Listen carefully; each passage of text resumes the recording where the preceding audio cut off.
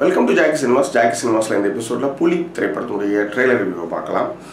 பாசத்துக்கு முன்னாடி தான் நான் பனி பகைக்கு முன்னாடி நான் புலி அப்படின்ட்டு எமோஷ்னலாக ஒரு ஸ்டைலாக விஜய் பேசுகிற வசனத்தோட இந்த ட்ரெய்லர் வந்து ரொம்ப ட்ரெண்டியாக போயிட்டுருக்கு. அப்லோட் ஆகி ஒரு மணி நேரம் அதாவது பன்னெண்டு மணிக்கு ட்ரெய்லர் அப்லோட் பண்ணாங்க. ஒரு மணி நேரத்தில் பார்த்தீங்கன்னா ஒரு லட்சத்தி முப்பதாயிரம் வியூஸ் அமேசிங் அந்த மாதிரி ஒரு டார்கெட்டில் ட்ரெண்டிங்காக விஜய் ரசிகர்கள் அதை எடுத்துகிட்டு போயிட்டு ரீசெண்ட்லி இந்த படம் வந்து மிகப்பெரிய பிரம்மாண்டத்தை உருவாக்கியது. இருந்தாலும் பாகுபலி ரிலீஸ் ஆனப்போ இயக்குனர் சிம்புதேவன் சொன்னார் நாங்கள் பாகுபலி அளவுக்கு இல்லாட்டாலும் கொஞ்சம் ட்ரை பண்ணியிருக்கோம் அப்படின்ற மாதிரி சொன்னார். இல்லவே இல்லை நல்லாவே ட்ரை பண்ணியிருக்காங்க. ஏன்னா அந்த படத்தினுடைய போஸ்ட் ப்ரொடக்ஷன் ப்ரொடக்ஷன் அதெல்லாம் வந்து வேறு. அது ஒரு மூணு வருஷத்துக்கு கதை அது. இப்படியான குறுகிய காலத்தில் இப்படி ஒரு பிரம்மாண்டத்தை வந்து மிக அழகாகவே சிம்புதேவன் கொடுத்துருக்காருன்னு சொல்ல முடியும்.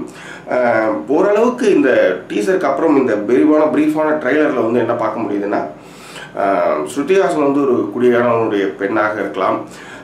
ஒரு மிகப்பெரிய ராணி சாம்ராஜ்யத்தின் ராணி ஸ்ரீதேவி அவங்களுக்கு வந்து ஒரு சேனாதிபதியான ஒரு படைத்தலைவன் அவன் உடூரமானவன் அந்த இடத்துல வந்து நிறைய குடிம குடிமக்களை வந்து நிறைய துன்பங்களை வந்து நேர செய்கிறான் சேனாதிபதி. அப்போ வந்து ஒரு ஒரு ஹீரோ ஒரு நாயகன் அது வந்து விஜய்.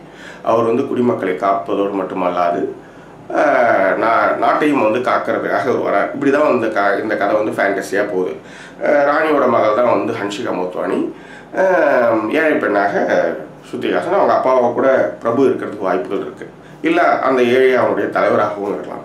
பட் ஓரளவுக்கு அந்த கதையை நம்ம வந்து கெஸ் பண்ண முடிந்தாலும் இந்த மாதிரி ஒரு சரித்திர பின்னணி கொண்ட ஃபேண்டசி ஹிஸ்டாரிக்கல் கதையை வந்து இவங்க எடுத்துக்கிட்டு இதை பண்ணுறதுல வந்து எனக்கு ரொம்ப சந்தோஷம்தான்.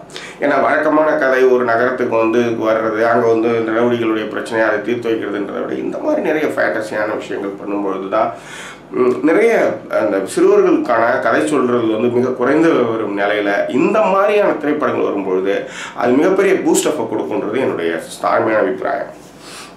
அதை விட இதில் வந்து மியூசிக்கில் வந்து டிஎஸ்பி வந்து பின்னிருக்காருன்னே சொல்ல முடியும். அந்த மாதிரி ரொம்ப நல்லாவே இருக்குது சீகர் பிரசாத்தினுடைய எடிட்டிங் நட்டியோட ஒளிப்பதிவு அந் மிக பிரமாண்டமாக இருக்குது ஒளிப்பதிவு ரொம்ப அற்புதமாக இருக்குது ஷார்ட்ஸ் எல்லாமே. அதே மாதிரி இந்த ட்ரைலரில் வந்து பார்த்தீங்கன்னா சண்டை காட்சிகள்லாம் ரொம்ப அற்புதமாக இருக்குது டான்ஸ் மூமெண்ட்லாம் ரொம்ப நல்லா இருக்குது மிக முக்கியமாக ஹன்ஷிகா மோத்வானி போகிற அந்த குத்து வந்து அந்த பாட்டை பார்க்கணுன்ற ஒரு ஃபீலை வந்து கொடுக்குதுன்னா அது மிக இல்லை. இந்த புலி ட்ரெய்லர்லேயே எனக்கு ரொம்ப பிடிச்ச விஷயம் எதுன்னா இந்த இந்த ட்ரெய்லரோட லாஸ்ட்டில் ஒரு கிராமம் இருந்து கொண்டிருக்கிறது. ஒரு குதிரை வீரன் வெகு தூரத்தில் வந்து கொண்டிருக்கிறான். யாருன்னு பார்த்தா சாட்சாத் நம்புங்க விஜய் தான். அந்த ஹேர் ஸ்டைல் இதெல்லாமே வெவ்வேறு மாதிரியான காஸ்டியூமில் அது ரொம்ப பார்க்குறதுக்கே ரொம்ப நல்லா இருந்தது அனலில் வந்து அந்த குதிரை வீரன் நடந்து வர மாதிரியான அந்த ஷாட்டு ரொம்ப நல்லா இருக்கு.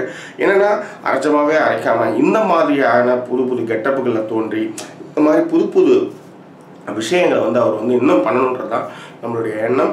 புலி திரைப்படம் இன்னும் மேலும் பல வெற்றிகளை அடைய வேண்டும் என்று ஜாக்கி சினிமா சார்பாக புலிப்பட குழுவினருக்கு நம்முடைய வாழ்த்துக்களை தெரிவித்துக் கொள்வோம்.